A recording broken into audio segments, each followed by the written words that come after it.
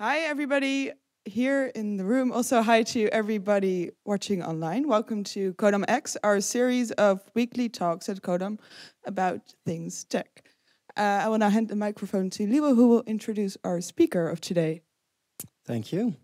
Okay, today we have a speaker who started programming in elementary school. She started developing a passion for security when she was a teenager, and now she's working for one of the best security companies in the Netherlands as an ethical hacker. And she's going to tell us a little bit about what we as a developer can do to make sure things are secure and stuff she encounters in her daily work um, in terms of security. So please, a round of applause for Sanne Maasakkers. Well, thank you for this great introduction.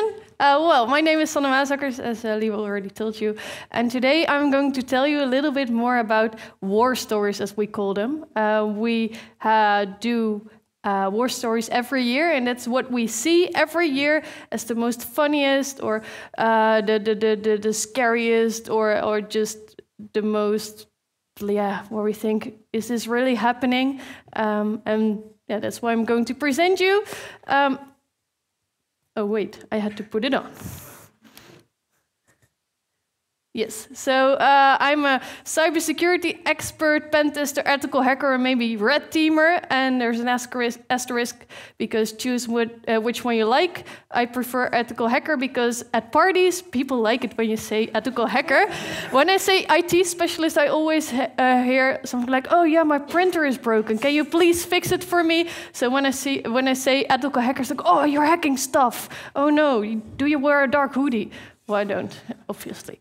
Um, and yet, I call myself a retired web developer. Well, I'm not really retired, but I've been uh, developing web uh, applications for, I think, 10 years now. That's where, uh, where I started.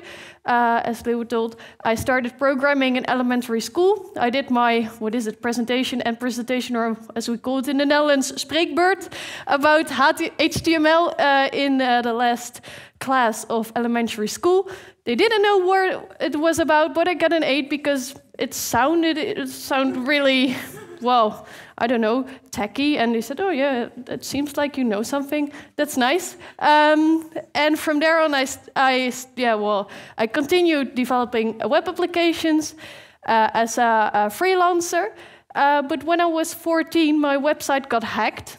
Um, I just had a website. I was blogging before it was cool uh, for all my three followers um, about my life. Um, and it was hacked one day. So I was like, okay, why was it hacked? So I went into researching uh, my uh, web applic- or my website. It was written in spaghetti PHP.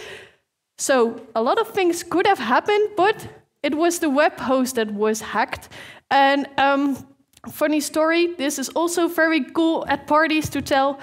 My website got defaced, and that means that they put another website in front of my website so that people that uh, browsed to my website saw another one, and it was replaced by a porn website. I was 14, and all my visitors were 14 year old girls, so I was, no, what's happening? Um, but they fixed it, but it's very cool to tell that at age of 14, I owned a porn website. Um, but that was the point that I researched into uh, secure coding uh, and um, secure development. Um, and when I had to choose my studies, I first chose um, uh, yeah, industrial engineering, uh, or in the, or in Dutch, uh, technische bedrijfskunde, because I thought, yeah, I want to do something general and I can choose whatever I like later. Um, but I uh, quit that in the first half year because, um, well, there was one course I really liked, and it was database administration, and it was even the most stupid one of uh, my computer science studies I did later. So I switched to uh, uh, computer science and information science. And computer science is the programming, and information science is, science is being the bridge between a user and a programmer. And I, and I liked them both because I want to translate uh, what the user wants, and I want to program it myself. I think you also, uh, I think that's also useful for you. Ask what the customer really wants or the, the user really wants, and then uh, translate it into a model or a website, whatever. Um, And um, after my studies, I uh, started at a company and did some uh, development in identity and access management. That's uh, with logins and stuff. That's very funny. I worked at TomTom for one year. They put me at TomTom at the company I was working for. And after that, I wanted to do more like general computer science or programming or security. So I uh, chose for Fox. They had a traineeship, and because I didn't know what exactly I liked in security, I did that, and that means that I uh, had the chance to um, yeah, to work at three departments. So I worked at the crypto department as a C programmer. I uh, worked at um, the ethical hacking department as an ethical hacker, and I did a little bit more with security awareness and developing trainings and presentations like this. So I started from programming, and now I'm an ethical hacker, but still programming and still web developing in my free time because I really, or still really like it. So that was this is Sanne in five minutes. Um, oh, and I also have Twitter. Yay. Um, so yes, this is uh, how, what my work looks like. Um, in 99% of the cases, when someone from the media asks me how my work uh, day, uh, uh how, how, my work is, and in 1% uh, of my real life, um, because I'm not actually being a hand model all day at work. Um, so I work at Fox, and um, Fox is located in Delft, and we're specialized in cybersecurity. We do ethical hacking, but also forensic. Uh, forensics and incident response. So when something happens, when something is burning because hackers entered the system or the building, uh, then we are like uh, the firemen and the firewomen um, going to that place and fixing everything. We also monitor everything at our customers, what's happening on their network, so we can detect when someone uh, wants to uh, wants to hack them, and uh, a lot of other various things. But those are the more like technical uh, departments we have. Um, so you are here. You are developers, and uh, well. So I thought, what's interesting for developers to hear about cybersecurity? And I got three things about serious uh, uh, um, secure coding, secure configurations, uh, and social engineering, because everybody um, needs to know a little bit more about social engineering. So that's why I'm what I'm going to talk about today. Um, I have a scoreboard because this presentation is about hackers versus developers. So I have a scoreboard, and well, let's see who wins at the end. Um, so uh, we start at zero, zero for the hackers and zero for the developers. And I'll talk you through some cases we saw uh, last year uh, and see who wins. So first we go to code. Let's see if developers are good at coding or maybe have some small flaws in their coding. So um, this was one case, and the customer told me, we don't use popular frameworks because those get attacked every day, you know. Do you use frameworks for websites or web applications? Yeah? What kind of frameworks do you use? I use React. React, yes. Cool. Another one? Flask? Oh, really nice. We also use that for de developing. Nest. Nest? Cool. Another ones. Why do you want to use frameworks? You know it? Because the default web API sucks. okay, I got the answer. Because the default web API web API sucks. Uh, well, I prefer um, frameworks because a lot of things are already uh, well integrated. Like uh, if you have an input field and you enter some information, you can also enter some special characters, and it will break the application if you don't check what a user is putting into that input field. So if you do it all manually, then you have to put everything. Okay, someone is putting an asterisk. No, not happening, etc.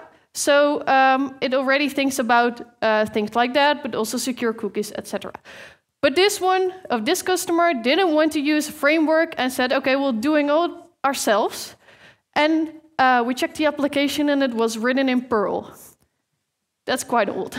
So we said, okay, let's see, let's see if you're uh, uh, if you really know where talk, uh, what you're talking about. So we said, okay, hmm, sure, let's see what happens. And then a little longer than a few minutes later, this happened. This is an alert box on a website, and we put it uh, uh, we put it on a website because what happens? You have a URL, and you can put some variables yourself in the URL.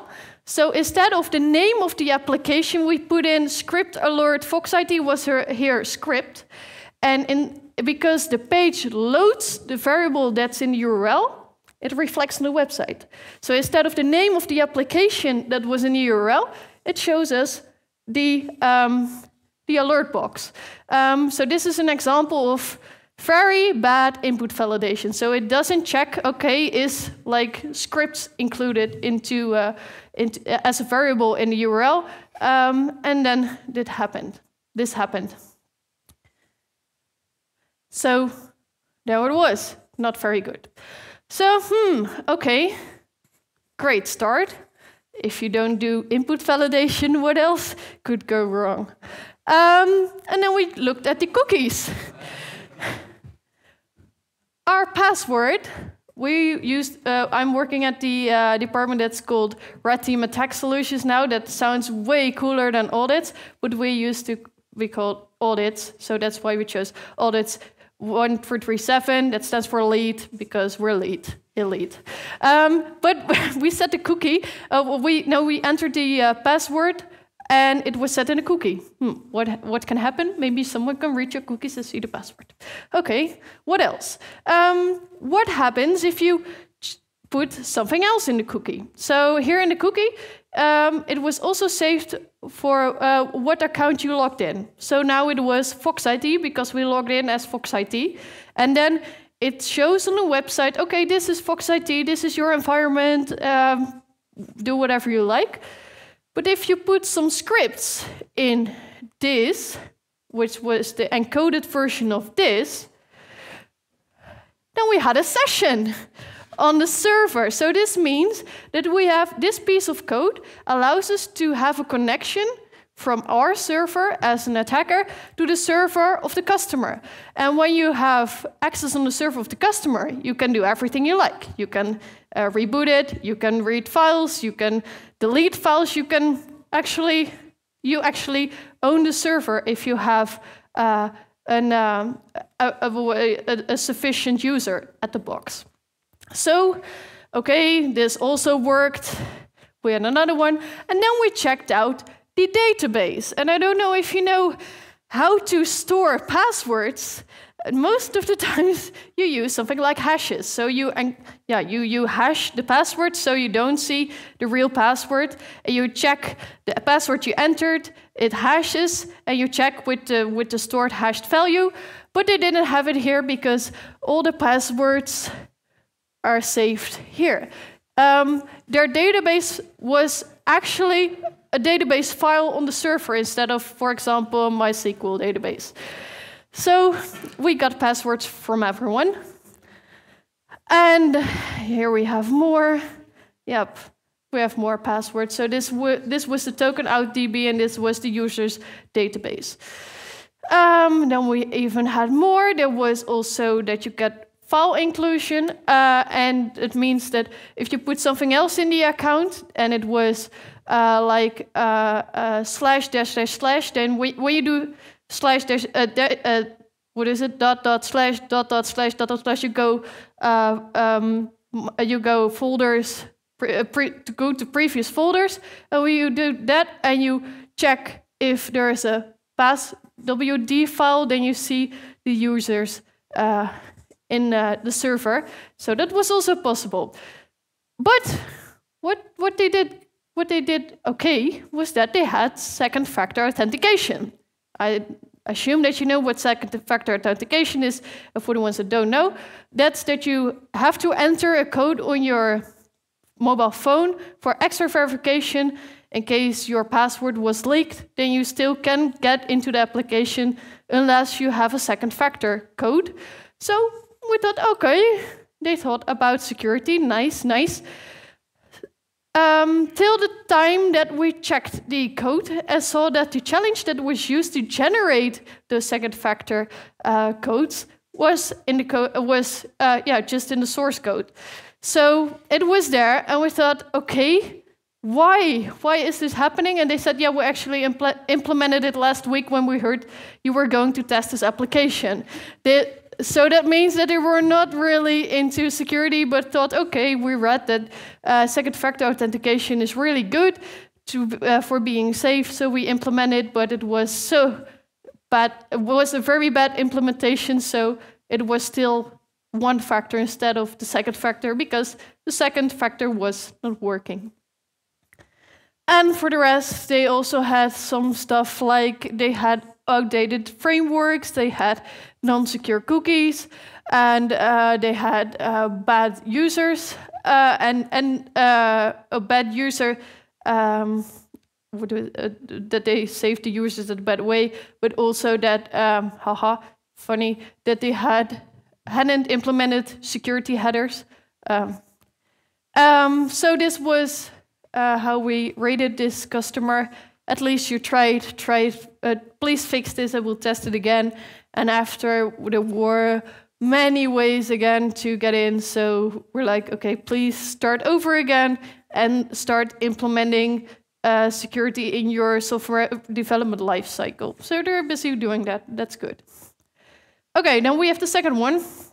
Uh, we want this new bank application to be tested. We want to go live next month. Okay, two anonymous banks, in the, uh, not in the Netherlands actually, were uh, international.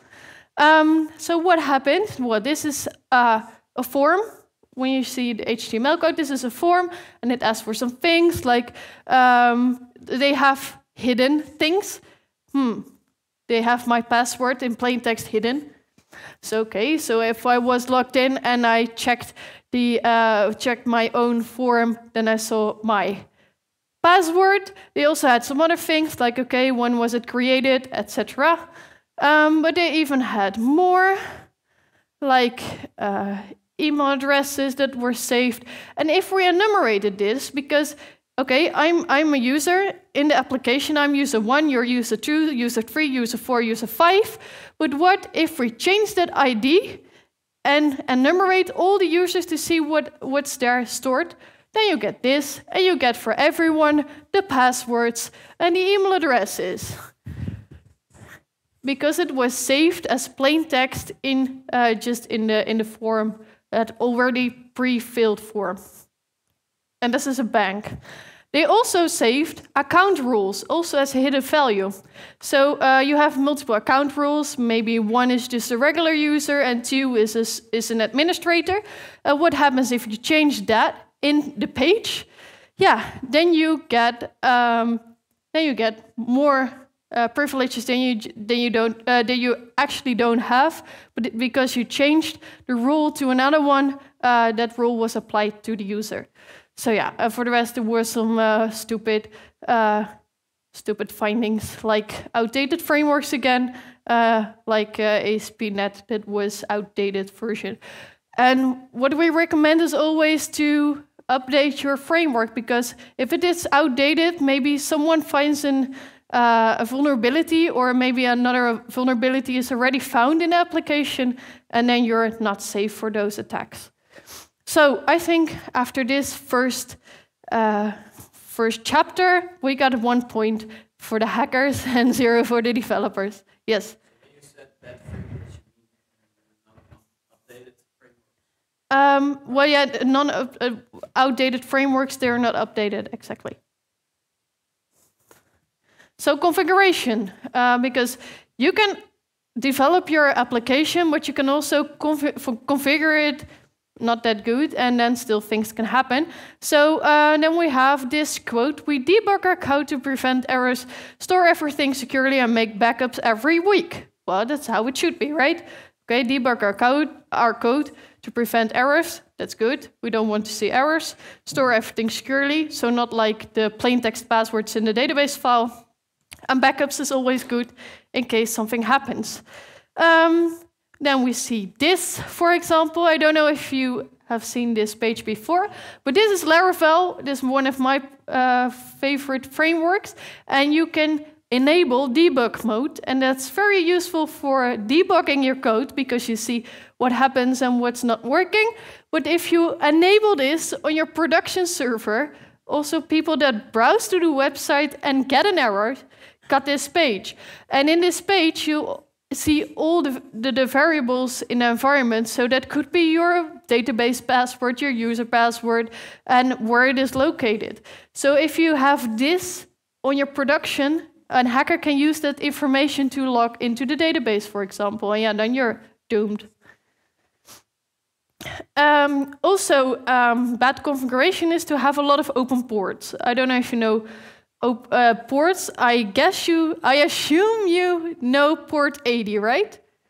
That's HTTP, uh, 443, HTTPS, and uh, well, computers have a lot of ports because they talk through those ports uh, with uh, for for several services. Uh, you can compare it to a house. If your house have a lot of a house has a lot of doors, that means that you can walk through uh, the doors in and out. And ports on service work the same. So uh, it works like the same, like uh, that, that it can what is it transfer data.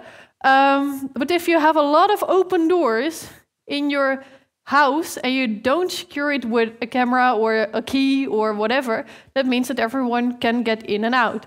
So this is what we see at some uh, customers, that we see that they have a lot of open ports that, do, that are not secured. So that means that we can get into the server if it was uh, uh, open for no reason or because they just didn't change it. So for most websites, it's um, only 80 443 and maybe 22 or 21 for FTP or SSH is sufficient, but we already uh, we also saw uh, this kind of open ports. So that's a lot. Um, and if you're already in, yeah, then you can see a lot of useful stuff. So this was uh, a medical uh, medical organization, and they had information stored. And uh, yeah, I think, what do you think? Is this a knee? Yes. Oh, I. You were like, yes. Okay. I guess someone had uh, had an injury at his knee because I heard a very good yes. Uh, but then you can see this kind of stuff. And the most funny thing about this one is that they had a production next to the backup. Uh, what happens if you have production next to the backup? Yes. Yeah, and, um, any vulnerability in the production server, the hacker can just erase backup. Yeah, yeah, or when uh, ransomware, for example, is on this server, then your production and your backup is gone. Well, that's not the best idea. It was a backup. we checked it, of course. Uh, well, what could possibly go wrong? Um, and also, what, what, what some web developers didn't, didn't think about when you have a database config file, then you have a lot of information in it. And sometimes you think, okay, let's make a backup of that file and create a new one. But if you change the name of the file uh, from a database.php to database.php underscore nu, that means that it doesn't interpret as PHP and that you can just show, yeah, can read it in your browser. So this is also what we saw at uh, some customers. And uh, we, with this, we got a password for the uh, for the um, MySQL database and uh, for some other several services. So this is also what we saw, and there's also a flag or something that uh, that shows the customer that they have to change something. And uh, what I heard is uh, that you, I'll play it again, that you develop um, games but also in games, some uh, things uh, could happen.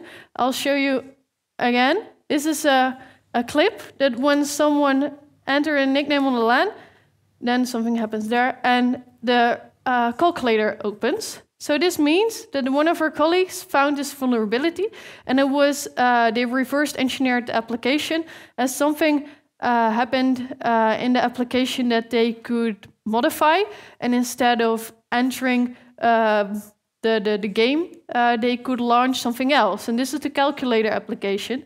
This is quite harmless, but yes, you can replace it by something less harmless, um, like uh, malware or something that runs on the system. So this is a vulnerability in one of the games. This is, by the way, not what we do during work days. This is what they did when playing the game. Um, they also published it on the internet. It's called Choco Proxy, and it helps you um, reverse engineer games to see if something is uh, wrong in the application uh, or something uh, is not set like it should be, and um, you could hack or hack or uh, modify some games. Um, then we have the fourth chapter. We always use very strong passwords, never reuse them, we don't hardcode them. We also heard that from developers, but also sysadmins and stuff. Um, and the funniest thing about every pen test, like the penetration test to try to get into the system, is that at the end it's always a bad password that lets you in. Um, because yeah, they said that people are the weakest link, blah blah blah blah blah. Okay, yeah, sure.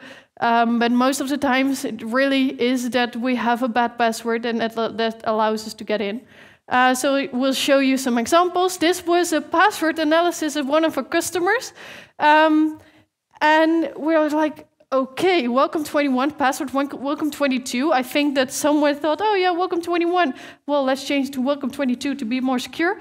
Uh, welcome 21 in Dutch. Welcome 123. Welcome 30, uh, 23. Uh, he already worked some some months for the for the for the company. Welcome 24. Welcome 28. Welcome 01 and winter 2018. Of course. Um, what winter trade 2018? Yes, we see that a lot because at some organizations you have to have to change your password every three months. So what they do is that they use one of the seasons and the year, so that's easy to remember. So you, everyone, get a welcome 21.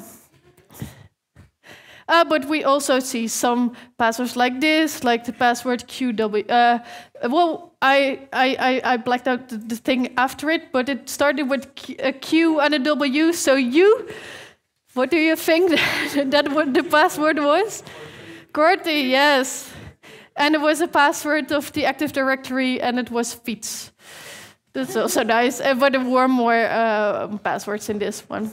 And sometimes when you're on a web application, when you use bad passwords, it will give you more passwords. This is a, a, Passwordstate. This is like a password manager, but then online, and you can put all the passwords in it. Um, and we could get into this application, and it gave us more passwords because it was the password manager online. So if you have a password manager online or in your network, please, please, please secure it with a good password or with second factor authentication. Otherwise, we're able to get all your passwords and your private keys and whatever. So we also see this. So, two for hackers, a zero for developers. I'm sorry. Maybe you get some points from that one. Uh, now we go to social engineering and red teaming. Um, and well, social engineering is using the trust relationship from one person to another person.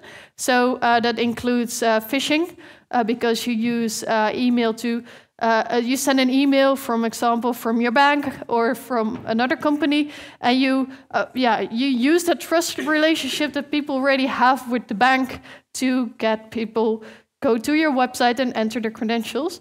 And we have red teaming, and that is to test how good the defensive part of the organization is in by defending, uh, yeah, attackers. So let's see if developers are better at doing that. Um, they say we definitely know how to handle social engineers. Never click on links on this e in emails. So we, uh, uh, so there's another one that says, "Nah, we're developers. Why would a hacker target us? Go get the CEO or something." well, this is uh, this is interesting because I think a lot of hackers actually target developers because developers most of the times have way more rights in the system than CEOs have because they have uh, rights to some servers, they have uh, rights to pass uh, to to databases. They have just more rights into systems than CEOs have. Um, so we tested it. There was one company, and uh, we sent a phishing mail to only their development uh, department. So what we know about developers, they want more money, they want more holiday, and they want a great car. So I thought, let's send them an email that we're global recruitment force and we have a great opportunity for you. You get more money, you get more holidays, and you get a great car. I think and, and, and the question is, how many of you get a lot of questions and emails from recruiters or link, on LinkedIn or whatever? Because they're always looking for developers. I think a lot of people are curious okay, what is that great opportunity? So I thought we have a very good scenario. Two weeks later. Well, two weeks later, we didn't have a lot of clicks, unfortunately. The developers did way better than the rest. We sent mails to finance departments, to developers, and just general other people and developers they a very good did a very good job because I think they're more secure security aware than the, the rest of the organization. So what we saw, um, because when we send out phishing emails to test how the security awareness is at the customer, we have two options. Or we send an email with a website in it, uh, a link to a website in it to ask for credentials, or we have a download for them. And the download is a, a piece of malware uh, we wrote that only takes a screenshot every five minutes at the, at the person that opens that malware and then deletes itself after one hour. So we can show them, okay, if we were an, uh, not a harmless person, but really uh, a criminal, then we could enter or see or whatever, uh, interact with your system and do this. So we saw some shells, and we saw, for example, uh, WordPress admins. So not very bad, actually. So developers did a good job. So well, a company got zero points and developers got one point. So uh, I think we are at 2-1 now. And um, what I already told you is that we also do red teaming. And red teaming is that we test the blue team so that we, as offensive uh, security experts, try uh, how good the uh, defensive uh, security experts are. Experts are. Who knows this uh, picture? What? Yes, it's the Efteling, and this is Joris and the Draak. And then is that you compete with the red team and the blue team. I always choose the red team because I'm from the offensive part, of course, and it's very bad if we lose every time. But uh, with red teaming, then you're trying to test how the blue team is uh, is working. If if they are able to work together in a crisis, and are they able to uh, well block the hackers from the systems? So um, how we do that is in multiple steps. So if we want to hack someone, then we first need um, uh, initial foothold. So we need to have some entrance in a server or in a computer or in some a workstation in the system. We can do that by uh, googling uh, what the organization is uh, what the organization is doing. We can do it by social engineering and delivering uh, malware that allows us to have connection with our uh, victim. And if we do that, we can go uh, we're, uh, we're on the network and we can get more information on the network, go to other users, get, for example, credentials from other users, and then we collect everything that the customer asks us to collect, and then we deliver it in a nice report, and then they're happy or not. So um, that's what we do when we're doing red teaming. And uh, well, last year I did a very nice red team. Um, and first, we need to get initial foothold. So we need to get into one of the systems of the person. So uh, we used phishing. And um, it's very nice that I have a web development background because I created a very nice looking website that looks exactly the same as their website, uh, but then with, uh, uh, with a great uh, opportunity to win items because they're, uh, they're founded a couple of years ago, and so, so they have now like uh, win, win items because we're founded a couple of years ago. So we used phishing for that. I made a website and um, well, I first uh, had to think, okay, how do we do the website? Um, we had to target a company in Spain. I'm not Spanish, obviously. I knew three words. Teveza is one of them. Um, so I had to think, okay, we need to create a website for Spanish people. So uh, it was a couple of years ago, so it was called, well, it was not really Lorem Ipsum Agnos, but if I said, uh, uh, showed you the real one, then you know who the customer is, or you go to the website and don't want that. So uh, it was like company name, year, and then años. So I thought, okay, let's register this one. But there's an N with a thingy on it. So I thought, let's register lorem ipsum anos.com. And then one of my colleagues came, my Spanish colleague uh, came and said, Yes, but anos is actually anus in, in, in English or in Spanish. So I thought, okay, maybe we should change that. So I have a website somewhere uh, or a domain name registered that, end, uh, that ends with anus instead of años. So that was the first thing we needed to change. Uh, but there was a website registered, and we sent an email. And um, you could uh, win items. You have to select them in a Word document, and that Word document contained a macro file. Do you know macro files? Yeah, you know, you know a lot, right? What's a macro file? Uh, it's basically a, a stupid decision. Of, hey, let's allow people to embed code inside of Word documents. That can possibly go wrong. Why would you include code in Word documents? Forms?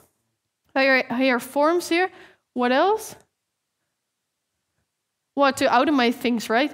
You see it a lot of you see it a lot in uh, Excel, for example, because you can calculate things or put in a Word. But you can also put malware in it or in, uh, well code uh, that executes on your system.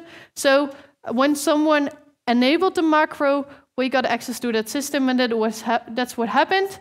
Uh, and we went on file safari, file system safari. So we were into the system on the workstation of one of the persons that clicked and uh, and uh, executed our malware. And then we see a lot of files that we have on our system. I think you have my documents on your system, pictures. I hope good pictures, not bad pictures, and a lot of other stuff, or maybe code on your system. And because we had a connection with that uh, with that uh, victim, we could browse through his files and see what he has. And we found five possible interesting files. Who thinks account PowerShell password.txt is interesting? who, who thinks mobaxterm.ini is interesting? Okay, some people. Propuesta for anybody that is. .pdf. Uh, security assessment.pdf. and credentiali.xlsx. Um, well, account PowerShell password was not that interesting at the end. MobaXterm.ini is very interesting because xterm is like, uh, what is it, put, putty kind of thing. And in that ini file, passwords were saved. Uh, they were encrypted, but if you bought the uh, professional uh, version of the application, you were able to get a plain text uh, if you put in the ini file. Uh, propuesta for anybody that is, that is just a proposal for a test. Security-assessment.pdf, that is a findings report of all security findings in previous tests. Um, and that was very cool because they didn't fix it in the meantime. So we so that was nice. So we could use that. And credentiali.xlsx was an XLSX file, but it was password protected. And you can crack the password or you can try to crack the password. If you, uh, if you uh, put it into an application, it will show you the hash. You could try to crack it, but we were not able to crack it into our systems. So then we didn't know. So we didn't know what's in there because we didn't crack the password. So that was when, when we started thinking, okay, how do people think? In the Netherlands, we see passwords are everything. What we see normally is Amsterdam 100, October 2019, July 2021 F15 Amsterdam. And what we saw in the Spanish version was almost exactly the same. They also use places, numbers, years, uh, whatever. They use it in there uh, as a password. And to crack or to get the password from that file, we started keylogging because we were already on the system, so we could log every keystroke that the person was typing. And we saw that he used months for passwords and years for passwords, uh, places, so we combined them to make uh, a, like a hybrid thing. So we said, okay, please put this into uh, into the word list with all the possible options we get for cracking. And one of the passwords is in this list. So it, uh, I was actually I thought, why were we were not able to crack the hash in, in, in, in our cracking systems, but it was I don't know, it was just it didn't think about it because it was Spanish and we were using English uh, word list or something. I don't know.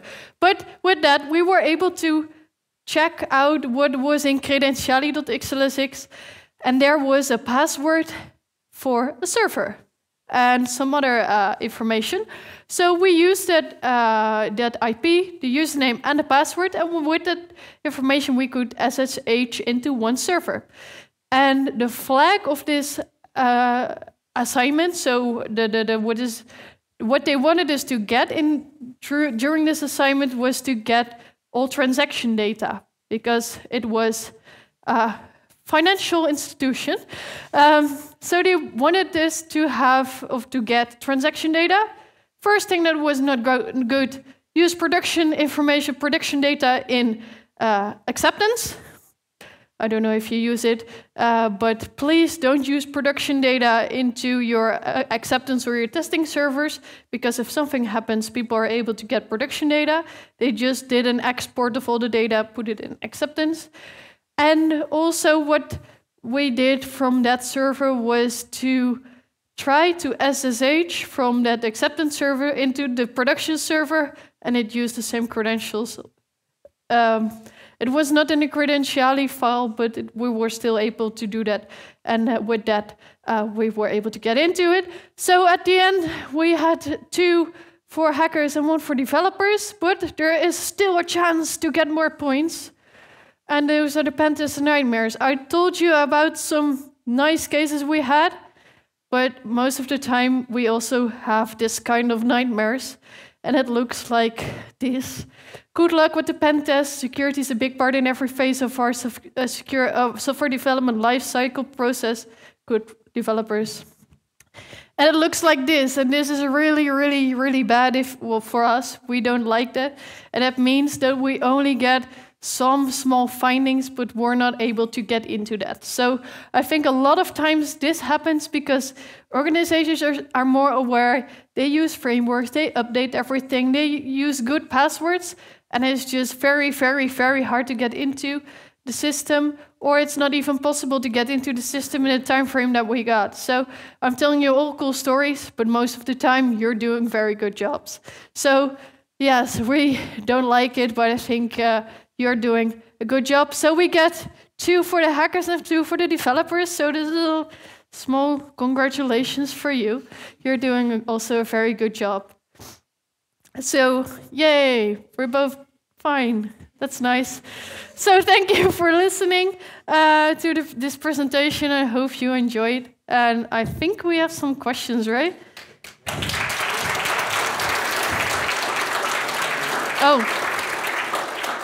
You said nobody uh, nobody can do a presentation 45 close, yeah. minutes exactly, and it's 44 minutes. I'm impressed. Yes, it's, thanks. It's great. Thanks. Thank you very much for the amazing talk. Um, and yes, like Sanne said, we'll take some questions. So if anybody has any questions, well, there we go, right away. And uh, will you? Yeah, just use this microphone. I'm loud. Oh, okay. Um, uh, as you said, we're developers here, or attempting to be. Uh, what kind of extracurricular stuff do you recommend for us to work on if we want to move into security later after finishing Codam? Um, so, what do you want to do in security? Being a developer in the security world, or being a hacker, or a pen tester? That's yeah. nice. Um, well, if you want to learn a little bit more about it, first uh, if you're coding, look into your own coding uh, because if you know how to do it the right way, you also know how to do it the wrong way and how people do it the wrong way, and you can uh, you know how to test those applications. Uh, for the rest, there are a lot of resources online where you can learn hacking. There's no because I did computer science and this is not real hacking uh, hacking school or something. Um, but there are a lot of resources online. For example, Hack the Box. That's a website where you can uh, where you can uh, yeah apply or uh, subscribe, and then you can you get a lot of boxes that are vulnerable, and then you can try to hack those boxes. So that's one of the things that's really really nice to start with. Uh, if you have a premium account, you can also see walkthroughs, and that will help you to go into that uh, into hacking a little bit more. So and and and and, and read a, li- a lot of stuff on the internet. It's just uh, there's a lot on the on the internet for uh, uh, for hacking. Um, and it, it, it changes every day. Uh, we were just talking about how it changes every day. There were like two big vulnerabilities announced this week. Just check what happens and how it happened and what could people do to mitigate those uh, risks and and how an exploit is made, something like that. But the hack the box is a very good one to start with. All right, more questions? Thanks. Uh, thanks for the presentation. I'm curious, uh, are there many companies that are doing pen testing in the Netherlands? And if so, uh, how do they compare or maybe your- your- some of your competition as a company? Well, that's a good question. Um, yeah, there are some uh, organizations that also do that. Um, we don't know if they're really a competition because we do a lot of services, and most of our competitors are just offering only pen testing or only forensics or only monitoring. Um, but it really depends on what our competitors do. Some are really uh, comp- uh, compliancy driven, so they have like the checklist and check if everything is good uh, and and compliant. And you also have some organizations that do more like a crea- have a creative process in hacking, just like we do. Um, well, I, I I don't know if there are a lot of companies that do it our way. Um, I think one of our biggest advantages is that we do a lot of research. We get 20% of our week is research time. So we research a lot and develop a lot of tools, and we use that in daily life during our pen tests.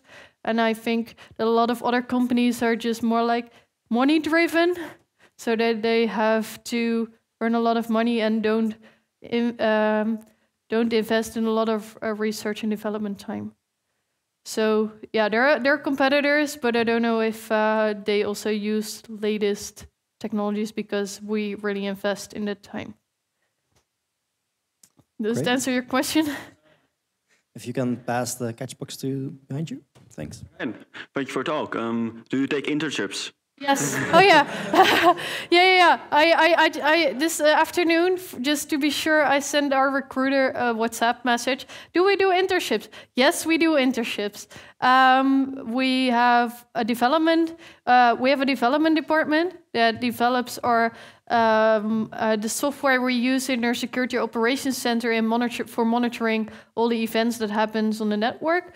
But we also develop a lot of stuff just uh, at our pen testing department, for example, we uh, we develop our own tooling, um, and we also have a crypto department that develops a C if you li- like it. Whatever you have to send me a message. We do internships. We don't have it on the website. Most of the time, it's more uh, tell us what you like to do when we'll find a place. Thank you. More questions?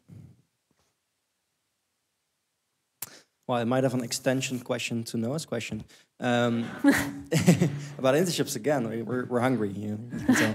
Um, We have free lunch. ooh, well, there we go. two, two, two, uh, two birds with one stone. I think. Oh, they the also have uh, the, they, we also have uh, free can oh free candy. You don't have to put it on the website. That sounds very strange. But we have also candy and, and, and, and cookies for free nice. Yeah. and Red Bull. Have you ever heard the saying "stop selling when you've made the sale"? Or I'm sorry. I said, have you ever heard the saying "stop selling when you've made the sale"? uh, no. no, I'm just kidding. It's okay, now. I know. I, I, I, I, I know what you uh, what you mean. I'm just kidding. I, I'd, I'd love to hear more, honestly. But um, I'm also curious. Okay, so clearly, maybe more people here want want to do an internship at Fox IT. So, what could help us uh, make ourselves interesting for Fox IT? What would make a great intern at Fox IT? What can we do to develop ourselves before that? Um, yeah, would it make you more interesting? I think uh, most of the time, hacking and developing is just courage and and trying harder. Um, a lot of my colleagues don't have a background in IT. Actually, we have some colleagues that uh, finished well. One of my best friends at the department, and also one of our best hackers, did mining minerals studies, and one did philosophy. So it's not related to the field that they're working in now, but they did it a lot of. Uh, they they did hacking in their free time, and they did developing since they were twelve, and they're doing it in their free time. So I think you're already doing a good job by just attending Codam and, and, and trying to get uh, to learn a, uh, learn more about coding and, and security by attending this, of course. And um, well, if you have a passion and you try harder and you have the courage to do this kind of things, I think you're already at a good point. And just show you show that you have a passion for security, that you have a passion for developing, and then you're great. All right, thank you very much. More questions? Well, awesome. I guess everything was very clear. Thank you very much again for the talk. Um, if you still have questions or something pops up, Sanne will be able to stick around for a little bit, so you can still ask her a question. Um, but that ends the talk for now. Of course, you can check the website codam.nl slash codamx to see the talk for next week and the week after, and follow us on social media. Uh, and if you want to see it all again, it's also going to be on YouTube, so you can see the talks on YouTube as well. So thank you very much for coming, you too, Sam. Thank you for your talk. Cool, thanks.